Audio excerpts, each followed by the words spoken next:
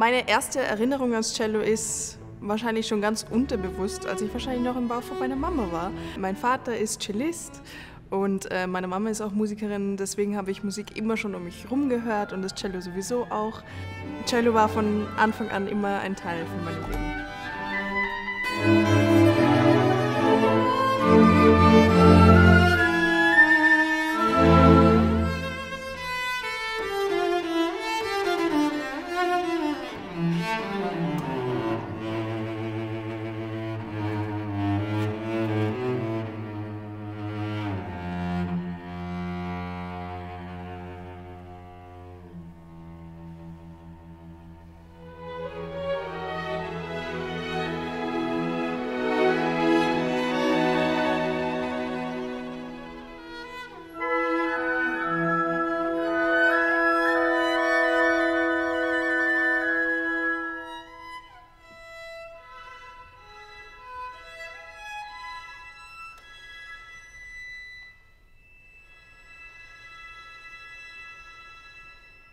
Der Lehrer, der mich am meisten geprägt hat, war wahrscheinlich Heinrich Schiff.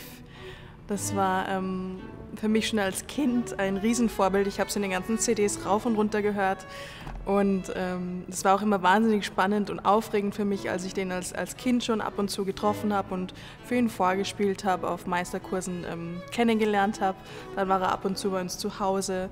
Als ich dann äh, festgestellt habe, dass ich bei ihm auch Unterricht haben darf, das war für mich ein unglaublich, unglaublich toller Tag und ich war einfach sehr, sehr glücklich, dass ich dann zwei Jahre bei ihm noch studieren durfte und ja, ich habe sehr viel mitgenommen. Es war ein unfassbar toller Cellist und Musiker. Was ich faszinierend bei ihr finde, ist, dass sie das sozusagen das Natürliche und das Freude ähm, absolut im Vordergrund ist. Und das, das scheint etwas wirklich ganz ihrs äh, zu sein und dann natürlich in Kombination mit äh, unglaublicher Präzision und fantastischer Technik und äh, Musikalität. Und wenn diese Sachen zusammenkommen, das ist genau die Voraussetzung, was man braucht, um ganz weit zu gehen. Und sie hat das, finde ich, ganz klar.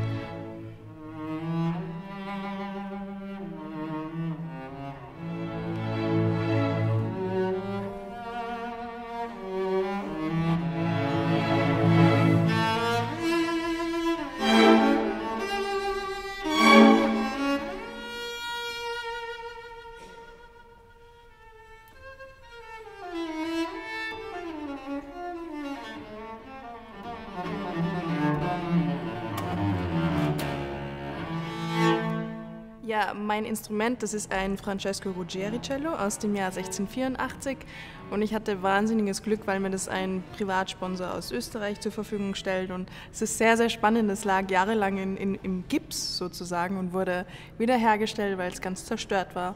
Man würde nie denken, dass das mal komplett kaputt war und äh, die Klangfarben sind unglaublich besonders. Also es, es strahlt, es singt, es hat viel Wärme und viel Charakter und ich, ich liebe es einfach, diese ganzen Obertöne auch aus dem Instrument rauszuholen. Und ja, ich kann mich sehr glücklich schätzen, dass ich dieses Cello spielen darf.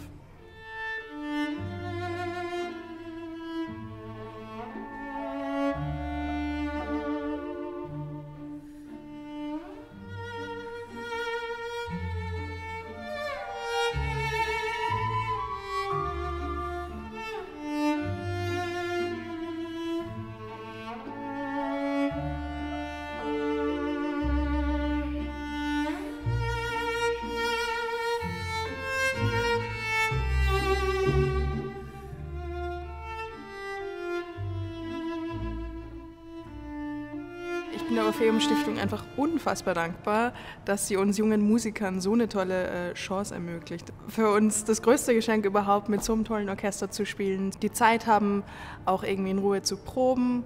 Ich habe mich jetzt schon monatelang auf dieses Konzert gefreut und ich kann es kaum erwarten, heute Abend dann mit diesem tollen Orchester und Christina Poska dann auf der Bühne zu stehen. Jungen Solistenförderung ist, äh, finde ich, das Allerwichtigste und das Basis überhaupt äh, für, eine, äh, für eine gute Karriere. Und wenn wir vergleichen jetzt zum Beispiel wie die Stiftung Orpheum äh, mit Wettbewerben, natürlich der Vorteil ist, dass man nicht unter diesem Wettbewerbdruck ausgesetzt ist und äh, wo man oft auch sehr kurze Zeit hat und, und ähm, verschiedene Menschen öffnen sich unterschiedlich und die können sich ähm, äh, die brauchen unterschiedliche Zeit und so weiter. Und natürlich so ein Rahmen von einem Konzert, äh, wo man die Proben hat, die Vorbereitung äh, und dann genug Zeit auch mit dem Orchester, das ist eigentlich das Ideale. Ich finde jetzt die jüngere Generation so oft mehr sozusagen diese Selbstverständlichkeit haben für, das ist meine Version und die, auch die Mut und ähm, dass es selbstverständlich ist, dass ich das mache, was ich empfinde und wie ich das möchte. Aber wenn ich das sehe, ich freue mich, weil es einfach sehr, sehr gesund und lebensfreudig ist und klar und irgendwie, irgendwie richtig ist. Äh, und ich versuche wirklich zu sehen, was die, äh, wer die sind, was die möchten und das so unterstützen. Ich finde, in dieser in solchen Rahmen, das ist auch meine Rolle.